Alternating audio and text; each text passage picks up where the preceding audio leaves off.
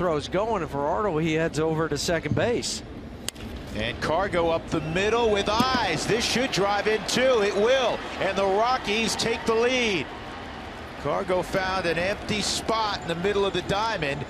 And for CarGo, who has struggled so mightily really everywhere, but especially on the road,